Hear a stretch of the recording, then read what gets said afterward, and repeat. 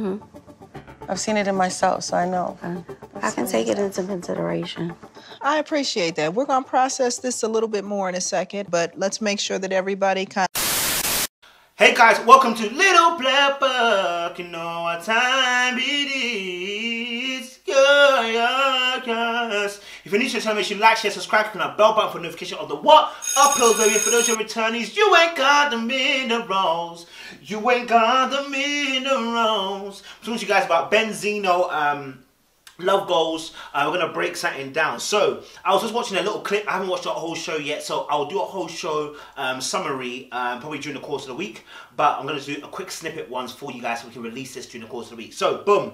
Um, so um, Spirit, the Spirit put on a little group task, which I think was amazing. Many people probably don't agree with it. But what people don't understand is, um, especially in, in business, um, what we do sometimes is do these kind of group tasks where people say what they feel or think about um, people, right? They do a thing where it's a perception test. What did you perceive about the person? What their strengths and their weaknesses are, right? And when you spend weeks with somebody, you're able to label their strengths and their weaknesses. Now, I've done one of these tests before, and I already knew what was coming my way. So I was ready for it. I braced myself, and it said exactly what I thought it was going to say.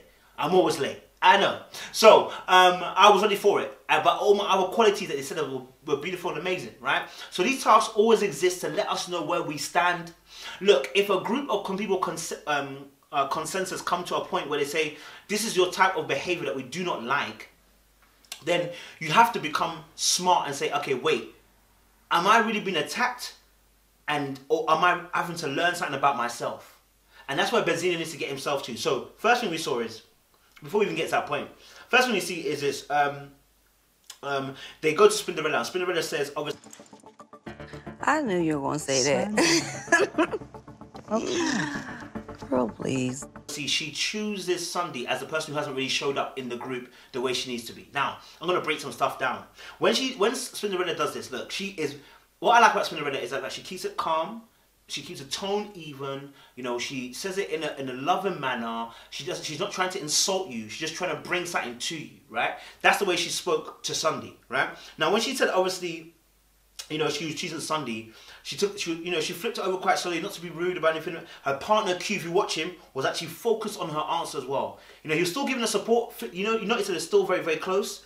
You notice that he's real, he's still quite tight to her. You know, he's still trying to support her in the physical means. I definitely believe that their love language is physical touch because they're always so attached to the hip. You know what I mean? Even when he's trying to support her that way right?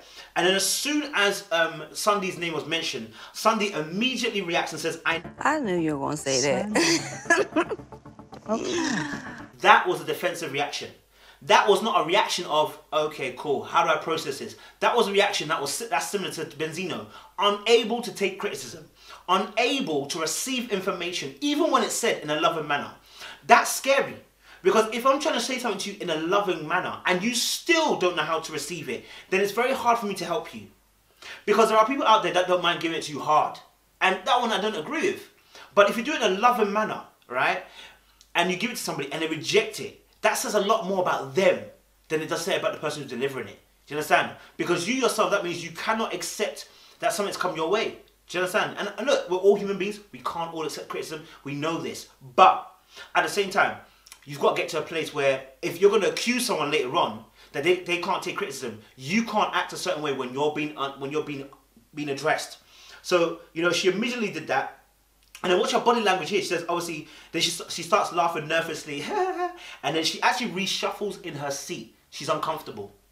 The word Sundy that got, to, the fact that all she said was that, you know what, all that, all that um, Spinderella said, she even said a little speech before. I'm gonna say this person I'm gonna hold to a higher regard before I show them because I feel like they're their own, they're stopping them. She understands where this person's kind of coming from, blah, blah, blah, blah. Then says her name, and then you get that type of reaction.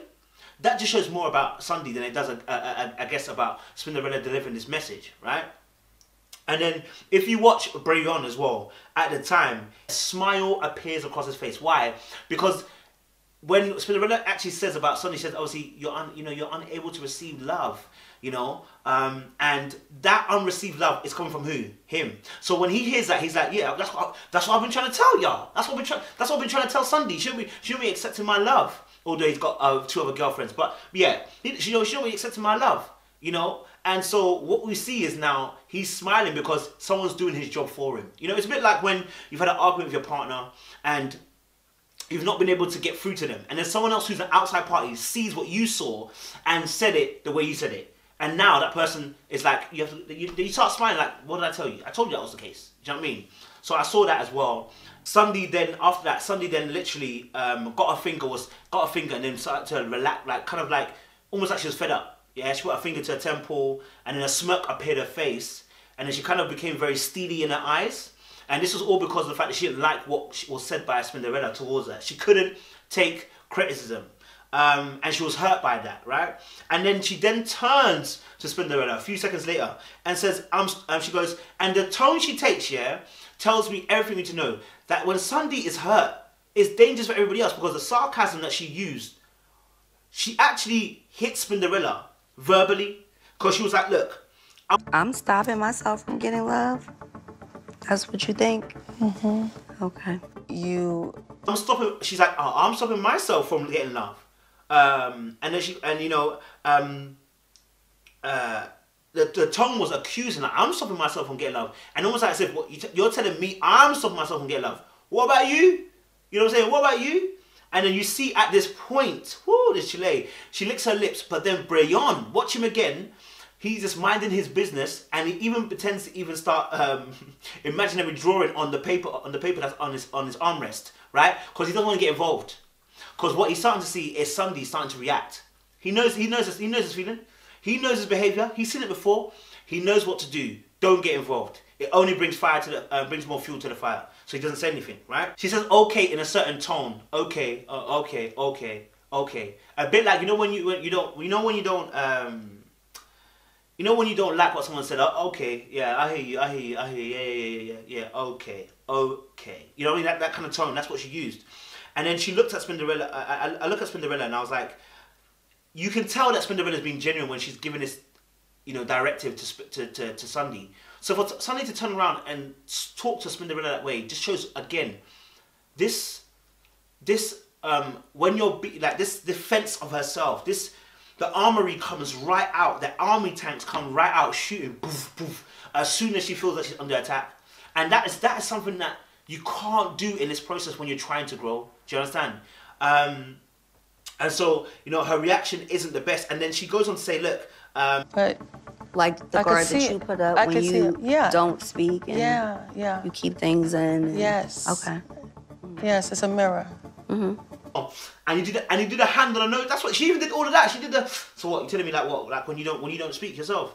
All of that was contributing towards the fact she's trying to say, listen, I'm trying to bars you. I'm trying to bars you because who are you to tell me? Do you understand? Instead of actually taking what she said on board, she's trying to bars her back with sarcastic comments and tone. Um, um, and you know, then she goes, then she goes, um, uh, uh, she's like, oh, I'll take it into consideration. And you know, you know when you said when someone says something to you, oh yeah, I think. We all know what that means. We ain't taking that advice on board. We ain't taking that advice on board. We are not accepting that advice. I'll take it into consideration. You, it's just you. It's just you being PC, not even polite. PC towards the situation, so you don't have to, you know, get into a ruckus. You understand, and say what you truly, truly feel. Do you understand? So, and then, um, you know, Brayon chose Benzino. I really didn't like this behavior. When Brayon chose Benzino, look, I understand you chose Benzino, not a problem at all. Them two have been beefing for time, so it's not a problem. Um, and he says obviously something very key to that. Benzino takes a lot from the group, right? He feels like Benzino doesn't add doesn't add as much to the group as much as he takes. And the sense of the fact that he causes a lot of drama. And that since we've watched the show, we were seven episodes in, Benzino's been in a lot of drama. Yeah? And one thing that Benzino needs to take account of and stock of is that why is it the group, if he feels the group is against him, why is the group against him? You need to ask that question. Why is the group feeling that you are the common denominator? Bearing in mind, your woman next to you, Althea, ain't short of of, of bad uh, uh, of bad traits either. She's walked out on you. She's cussed you at certain points. She said things that are out of turn. Like she's done a lot. But the difference is here. When people are sharing, they share. And Althea's mentioned this as well. You don't share, and you and when you say that when you don't share, it makes you look like you're above everybody else. And and, and you know, I think uh, you know it makes you feel like you're everyone else is learning. Everyone else is everyone else is revealing their weaknesses, and you're not revealing anything. So you're getting the best of it. You're not, you know what I'm saying? By you thinking that I don't want to share because I'm hurt or anything, or I don't want to say anything in front of anybody. Actually, what you're doing is you're making it look as if everyone should give their weakness over, but you won't give your weakness over as well. So again, you're not building trust. So you become the enemy. Plus, unlike Althea, Althea hasn't argued with other women. This is the difference. Althea hasn't argued with other women. Benzino has argued with women and men. And when I say women and men, I mean, I mean, I mean by that, um, you know, Teresa and Sundy. You know what I'm saying? He's argued with them. And Bra- uh, Bravon. So not only have you argued opposite sex, you've argued with the same sex. You know what I'm saying? So there's nobody who's going to back you now. Because the loyalty from the gender is now lost. You shouldn't argue with everyone. Um, and you know, Brevon said obviously he noticed that Benzino huffs and puffs, and that's a real that's a real observation because I noticed in one of the videos, as Althea was speaking, he was huffing and puffing. I was like, why are you huffing and puffing? We're all sharing this is group therapy. We're, we're sharing. Why are you doing huff and puff? You're making you're you're making it look as if you're again above everybody, and that is not what you want to be perceived as, even though that may not be true. You know. Um, and then obviously he ends it by saying, you know, he acts like a little girl. Now I know this this this is a, this is we can't be saying these things. You know, Bravon, that was a low blow. And, and to say group sessions. If someone's talking, you should, you know, you should be respecting it. You shouldn't be all huffing and puffing, like, like, you know, just doing girl stuff. I don't like it.